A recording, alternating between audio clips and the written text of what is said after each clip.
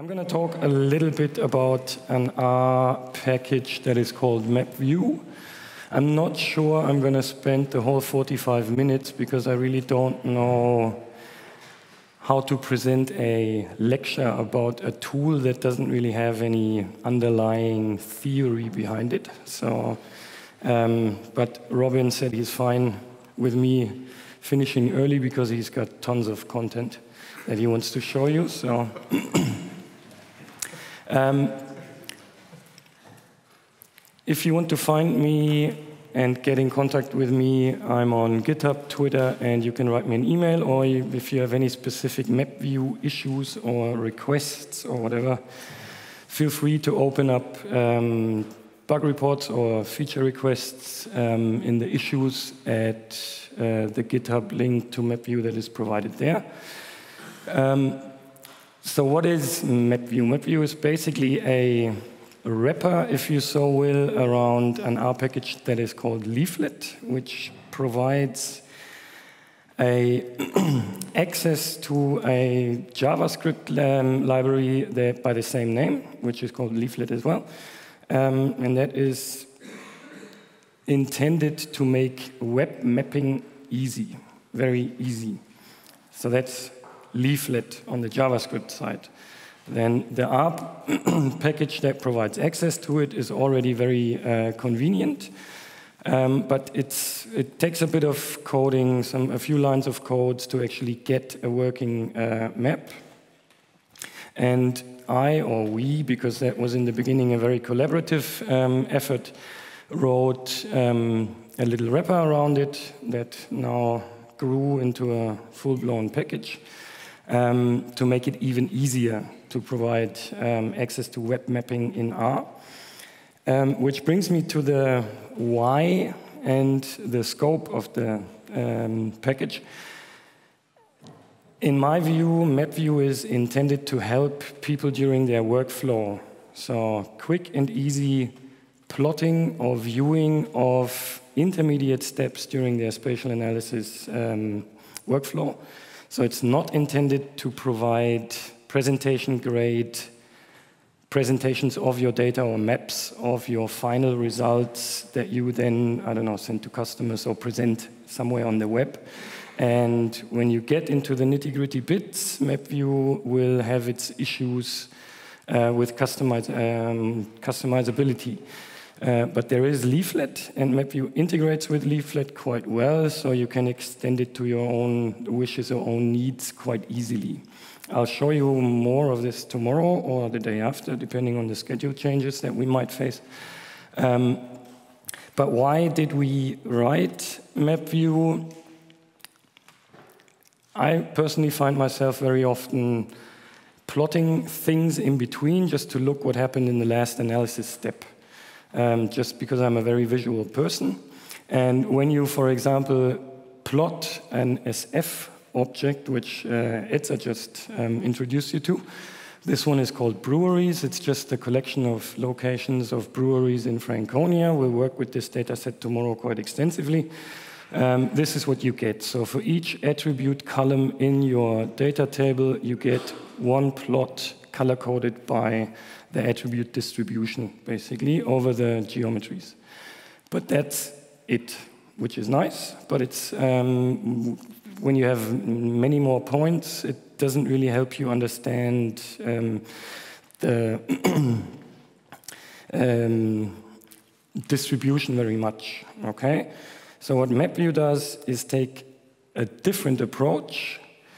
You plot the geometries only once, and then provide the feature attributes that are behind each point via a pop-up that you can query for each of those points. So you, with your mouse, you click on the point, and you get all the information from your data table or data frame um, that is behind that point. You plot them on a map, so you get a map background just for orientation where you are on the planet, or in that case in Franconia or in Germany. Um, you get some features which are more GIS-like, um, or which people are used to from GIS systems, Like you get a little button down here that is called a home button or zoom to layer button. So whenever you pan around the map and you want to go back to the initial view, you just click on that button and it will reset the view to where it um, was in the beginning. And I arbitrarily chose five different background maps that you can toggle. One with a very light setup, which is usually preferable for most data representations. Um, then there's the same map in a very dark setup, because sometimes you might color code your um, geometries with very light colors, then you don't see them on that background. Then MapView will automatically decide for you which background to take. Um, there's a standard open uh, street map, and there's some world imagery, so basically satellite image that you can um, lay behind the points. And there's also an open topography map, which basically gives you the topography overview um, in a quite detailed way. You can visualize many layers on top of each other very easily. I'll show you how to do that tomorrow. And you get a scale bar, and you usually, when you don't only plot the geometries, um, you get a scale, uh, um, a legend for the color-coded points um, by default, but we'll see that in the hands-on tutorial uh, tomorrow in more detail, okay? Um, MapView itself has, because it's a package that is intended to provide quick and easy visual access to all sorts of data um, classes that we have in R, like SF, SP, raster. There's a package called satellite. Um, it has a lot of arguments and a lot of methods defined. So the help page isn't really very conveniently organized and very straightforwardly accessible. Um, so I put together what, in my point of view, are the most important arguments that you will use on a day-to-day basis. Um, I'm currently thinking of revamping the API for MapView to make it a bit easier to not have as many arguments um, available in the front end, which you can still pass to them, but more of them will be settable via options that you define globally once, and then they're there for this session. But the most important um, arguments in my opinion, I work quite a bit with MapView, um, are X, obviously the object that you want to visualize, because otherwise you won't see anything. Um, the Z call or Z call, which is basically the column that you choose in your attribute data frame for the color mapping of um, your data. Then dot regions, which refers to the fill color I chose to go with what was when we started developing MapView, SPplot was the standard plotting method for um, vector data, and also raster, I think, had a method for it, right? Um, and so we chose to follow their argument naming, um, which is based on lattice, as far as I can tell. Um, so col.regions basically refers to the fill color, and that is valid for points and polygons. So points are little circles which are filled with a color and have an outline. Um, and for lines, there's a color argument.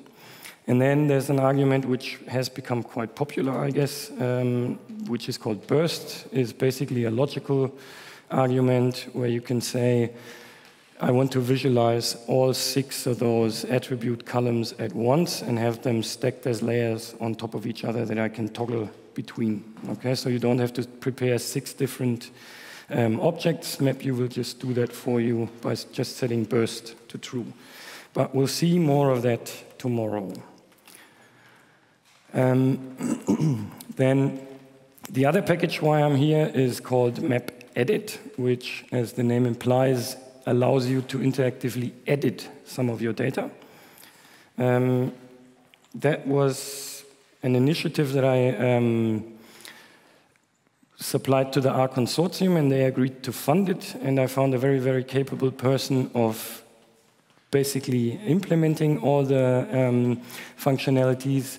His name is Kenton Russell, and I, am highly in debt to that guy because um, he really uh, pushed MapView or MapEdit quite a bit um, in the beginning, and he's just very good on both sides, uh, the JavaScript side and the R side, one of a, a very rare combination in the R spatial or R, especially R spatial community.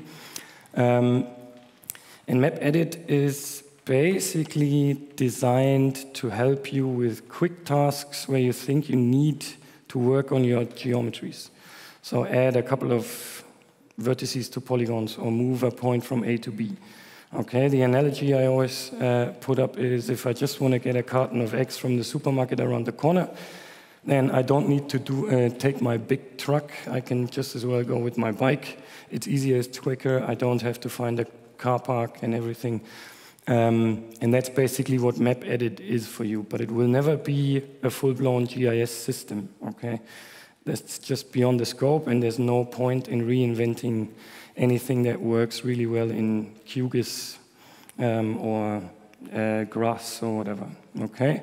It's for quick and easy and small things. Um, it is a Shiny-based application, MapEdit, so it works naturally in Shiny, for which you get modules. I'm not going to go into any detail with those uh, or over those with you tomorrow. We have applications that are based on those modules. So basically, the modules are Shiny compatible or modules of Shiny. And then we provide a few Shiny apps that are accessible via the package, which is basically edit and select map they are called. And then on top of that, we have another abstraction that works for spatial vector data, so SP objects or SF objects, um, which are then called edit features or select features, or there's even a further um, layer where we say we have a function that is called draw features. And what they do is pretty easy. I mean, you have an object that you want to edit, you type edit features, of that object, and then you get um, a graphical representation and can edit the vertices or the um, points or whatever of this feature. I'll show you this tomorrow. Select features is where you just do a manual visual selection, not by subsetting by something that, um, I don't know, requires you to have a um, some whatever you do in, in subsetting in general when you go subset my data frame i don't know variable x equals a or whatever. But here you can just subset by really selecting whatever you want to select because sometimes subsetting by comparison is just not possible okay? Um, so i'm going to show you how that works tomorrow as well there is one more thing that we want to implement in MapEdit, and that is um, attribute uh, feature editing. So whenever you click on a pop-up or you have a, we're not sure, it's a very tricky development for the um, UI, the user interface. But in the end, you get some sort of tabular representation of your attributes, and you can just quickly type in there and then save that, and then it will save will be saved in the object that you get return from your Shiny app into your R workspace. Um, that is not yet implemented, but that will happen hopefully fairly soon, depending on uh, Kenton's time frame. And whenever you have ideas, please feel free to uh, go to the GitHub page and um, open up issues and feature requests. We are happy to try to implement whatever people want as long as it fits into the scope. Okay? There is a few blog posts on the rspatial.org site, three of them, like an intro, a more mature one with new features that were released with MapEdit 2.0, uh, 0.2, and then just recently, I don't know if you are aware, but Leaflet had a big upgrade to the underlying uh, JavaScript library, which broke a lot of things that used to work with the old one. Um, RStudio has released a new Leaflet R wrapper around that new Leaflet JavaScript library. And that enables MapEdit to come up with a few uh, more possibilities, and those are described in that last blog post there. Okay, that's pretty much all I have for the two packages that I'm going to have um, the tutorials about tomorrow. But I want to quickly touch on something that I think is quite important when you represent data on a map. Okay? And for that, I borrowed some slides from Hadley Wickham, which he presented, I don't know, six years ago at a user conference where I happened to be in his um, tutorial. And he asked a couple of easy questions. Basically, three points, and which one represents the larger value? Does anybody care to answer?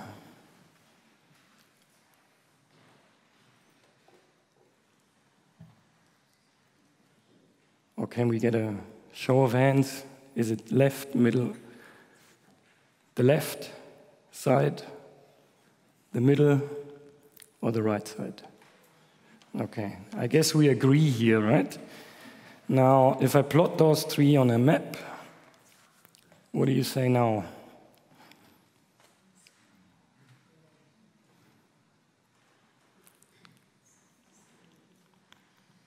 It's not that easy anymore, is it?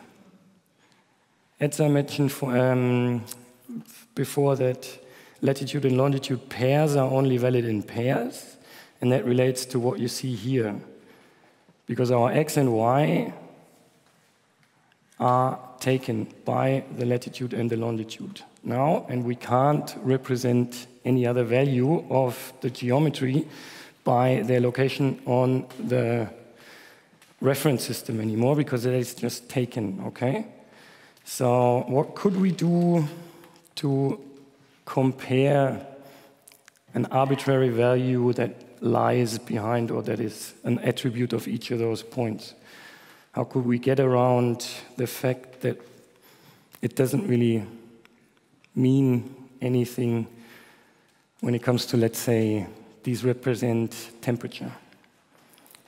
different temperature values, measurements of temperature at different locations. How could we compare them on a map? With color. With color? Sorry? Size of the bubble, okay. Size is a bit tricky because size might mean something in that reference system as well. Size is okay for points, but it's not that okay for polygons because polygons are fixed in space in our reference system. Yeah. You could just plot the number in there. Yeah, yeah, that is very good. But I guess most of the time, um, and I guess you've seen lots of maps in your life, it is about color, okay? So again, the same question, which one is the larger value? Can you tell? Show us the legend is a good point, yes. And I'm quite happy that MapView now uh, provides legends by default because, um, yeah, I'll tell you about that tomorrow. But yeah, legends are always a good point. But then it's still tricky to say which one is larger when it comes to your perception. Which one would you perceive as larger? I mean, if I tell you I mean pink is larger, then that's fair enough. Um, but in general, you can't. Just with the hue of the color, you cannot represent any ordered values, okay? You can only represent A and B and that they are not equal. How about now?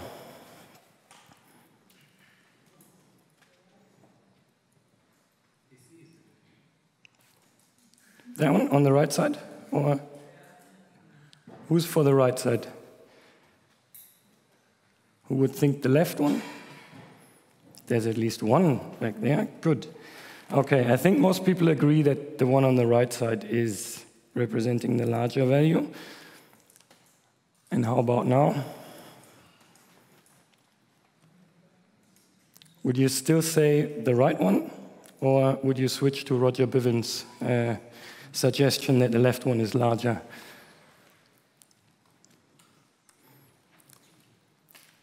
I hear it's tricky. Yeah, it is tricky. It is, uh, well, it depends on the context of your visualization. And that's about as philosophical, uh, philosophical as I get today. Um, it always depends on the context, okay? So, I mean, you see with these three or four little uh, slides that it's not that easy, and colors are really um, critical and not really easy to deal with. There's, when it comes to mapping, generally three types of color um, palettes that you can use sequential, diverging, and qualitative palettes. Um, and I've put the statistical scales or the scales of your uh, data um, underneath those. So whenever you have ordinal, differential, or rational data, you can use sequential, or you should use sequential.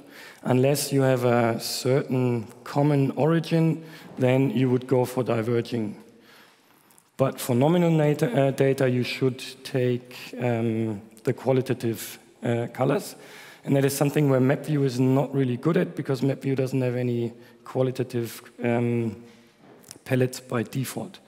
MapView will by default always take one of the sequential um, palettes. I might change that in the future, but um, we'll see. So just be aware that choosing the color is um, quite important. Now, colors are represented in a so-called color space, and the most common color space that everybody knows is RGB, the color representation of the red, green, and blue channels, um, which is, and we're now talking about ordered values, so one is larger than the other, is larger than the other, or is even twice as large as the other value. Um, RGB is a color space that doesn't really lend itself to represent data in such or such data um, by color coding. And that is because when we start with the same value on the left side and add 50 points to the red channel, we end up with the muddy green, and we add another 50 points, um, we end up with a muddy brown, okay? When we do the same representation in the green channel, we basically just increase the saturation of the green. So we go from a grayish to a really light or bright green. And if we do the same in the blue, we completely change from uh, green to blue. So how could we possibly say that whenever we add 50 in the blue,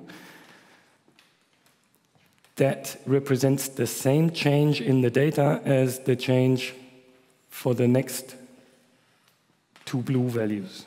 Okay, it's just not really um, perception-wise, it's uh, not a very good color space. There is a color space that does that much better, which is called HCL, which is the default palette for ggplot2 is based on each HCL. And there, whenever you add 50 points in the luminance, for example, you get a nice continuous representation of the change of your data, which is from, from a perception point of view um, pretty close to what the data um, change is. You can do the same in the chroma channel, where you go from gray to saturated, whatever color it is. Um, and you can change the hue if you just want to represent uh, different values. So A doesn't equal B. Okay, you use the hue. So that is a color space that is much more preferable when it comes to representing your data rather than any RGB-based um, color scales. When you transfer that to real data that people usually use or real color palettes that people usually use on maps. I think most of us have seen the first two, especially people that work in meteorology or oceanography will be very accustomed to maps where you represent temperature on a color scale like the first two that you see here, which is quite problematic because why should you perceive a change from yellow to green just as much as a change from blue to uh, violet. Why should it be similar? You don't perceive it as being similar, okay? There is one um, color palette that is from the Color Brewer um, package or our Color Brewer package, which is a highly recommended package from my side as well. There's a good website um, for the Color Brewer color schemes. Um, and that's the spectral one, which kind of mimics um, the at least temperature range where people think blue is cold and um, red is hot. But it still has the problem that it changes um, the lightness or the luminance of the data or of the um, colors quite randomly, actually. The um, four last ones are much better. So the HCL one is just the color space that I just showed you which is a continuous change in lightness or in luminance in that way. So whenever you perceive a change along the color scale, you will perceive that change as constant, no matter where you move on the color scale. The same is true for Viridis, Inferno, and the SF colors, which are basically the SP colors, right? Used to be in the SP package as well. Um, those represent continuous data quite well. Now, MapView, MapView goes for uh, vector data with the Viridis palette, and for raster data, we take the Inferno, uh, just because it looks nicer. In the end, it's a, a little bit of a component is there where you think it's an aesthetic choice as well, which one you like better, right? When I say real world examples, that is basically what people have seen before, right? And I think that is a really bad representation of um, data. What you see here is um, sea surface temperature um, in some random month in 2009 or something. And what I really don't like about this is that you get the impression that there is a sharp decline in or increase in temperature from here to there and from here to there. Okay?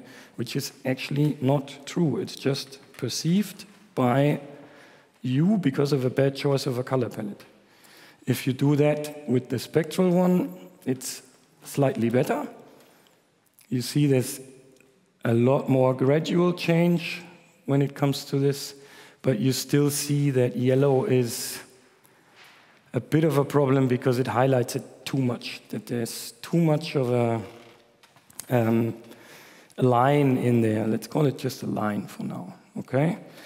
Whereas if you go with the HCL one, you don't see those abrupt changes anymore most of the time, unless where they really occur in your data, okay? When you look in your data, those are real jumps. But they are not here anymore, for example. And the same is true for all the other color palettes. So I'm just going to flick through those. And that's basically the one that MapView would use by default for raster data, okay? So I hope I have convinced Tom now as well, because we had a little argument about this on Twitter the other day. Um, and that's basically all I want to say for now. Um, if there's any questions, feel free. And we're going to have a lot more hands-on regarding MapView and MapEdit tomorrow.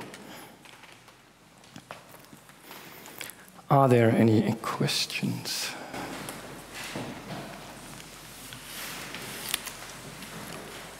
Well then, Robin, I guess.